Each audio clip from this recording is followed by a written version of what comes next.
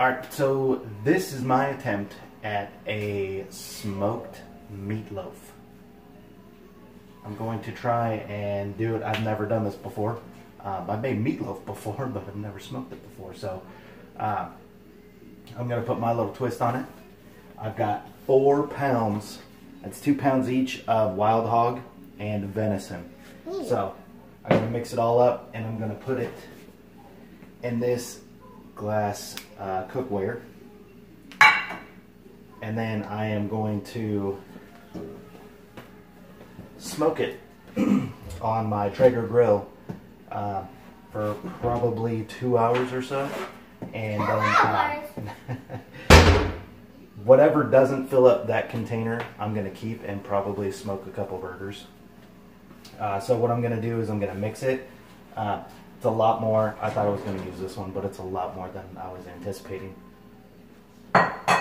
So, get to mixing. I'll do an overhead shot and uh, stop. Alright, so here we go. I'm going to put in a whole rib of celery and get it all out. It's finely chopped up. And then also uh, about a half cup of shredded carrots, a quarter cup of Worcestershire sauce, or whatever you call it, however you say it. And then uh, some minced garlic. I'm not that good to uh, mince garlic, so right there, about uh, two tablespoons of that. Next on to some sea salt or kosher, kosher salt, whichever you prefer. Um, you can do it to taste. Um, I put about two tablespoons in there. And next is the black pepper. Uh, about the same. You can put however much you like. I did about two tablespoons, maybe a tablespoon and a half. Then some Italian seasoning. This stuff is really good in meatloaf. And again, that's about one tablespoon or so. This stuff might be the best stuff ever. Everglades heat, fantastic. About a tablespoon of that. And also some of this reload fully loaded rub. I did about two tablespoons of this. This stuff is good on eggs as well. So, there we go with that. Next, the Italian seasoned breadcrumbs. This is really good. Um, I did about a whole cup here. Um, obviously not in camera shot, but I did two eggs. Here's the first one. And yes, I still crack eggs. Weird. And here is the second one. And there we go. Alright, next is some grated Parmesan cheese. I did about a half cup of this. Um, that's normally what I would put in for uh, half of this mixture, but to each their own. Alright, then just start mixing by hand and uh, really get in there. Mix it all up real good. Um, you can mix it real well if you want it thicker or uh, just barely mix it if you want it a little more loose. So it's really just up to preference.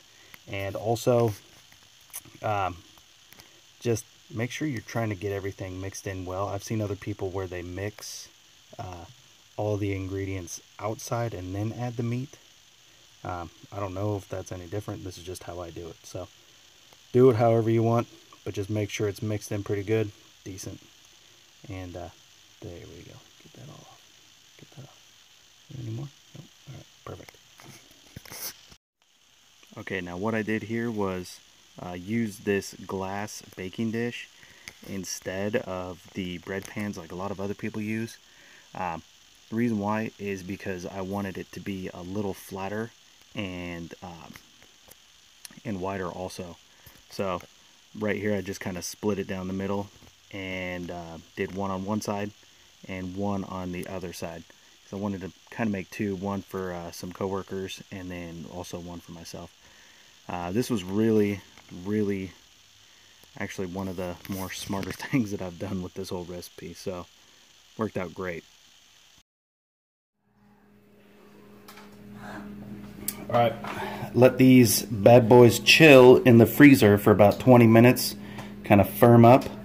So what I'm gonna do first is throw some of this reload rub on the bottom.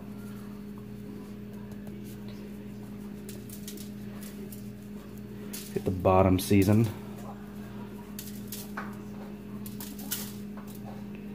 Okay. And a little bit of this Everglades heat. This stuff is fantastic, especially on eggs. I'm not going to put too much though.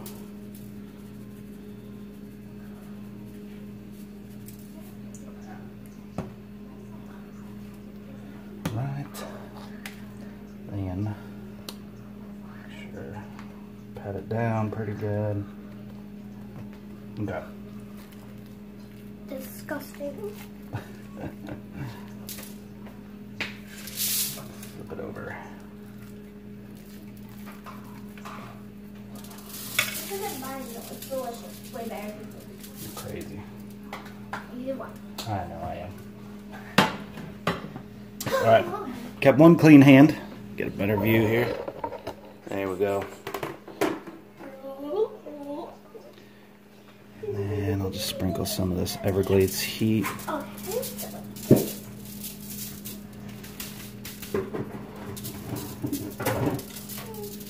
Alright.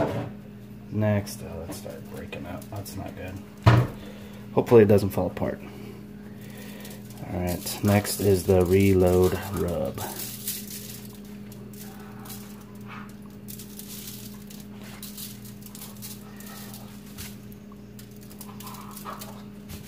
Alright, I'm gonna spin it so we can get this side good.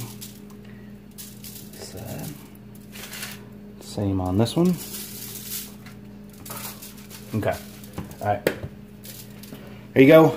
Just a cookie sheet lined with uh, some foil and then a little resting heck hit there. Got a kid dancing in the background. Uh, I got my Traeger set at 220 or 250 right now. I'm going to go and throw these on there. Alright.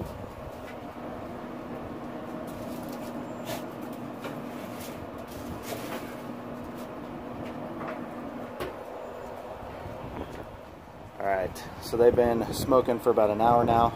Open it up, see what they look like, spin them around, and put in the probe thermometer.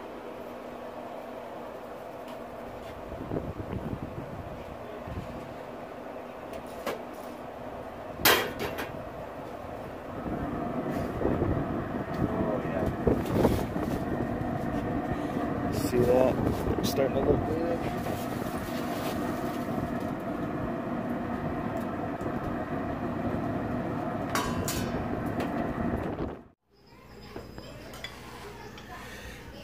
All right, they're done.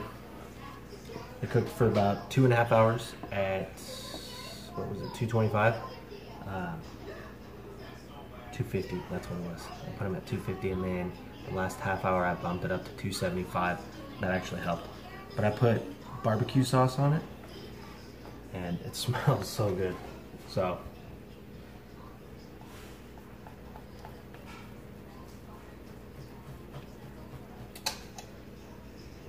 Yes.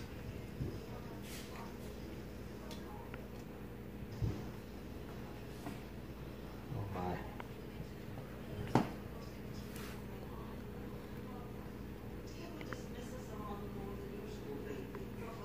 Smoke ring. Gotta focus. Look at that. Oh my. Oh me, oh my. Ah, Can't even cut it.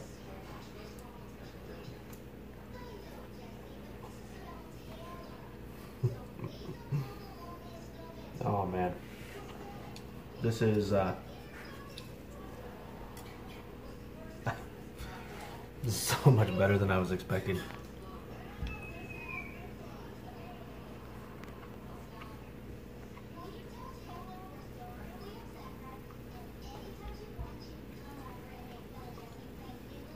Phenomenal. Absolutely amazing. Mm. This turned out a lot better than I was expecting. Okay. I'm going to list all the ingredients I used and basic measurements of pretty much what they were. Down in the description, and then everything else that I used, I'll also link down in the description.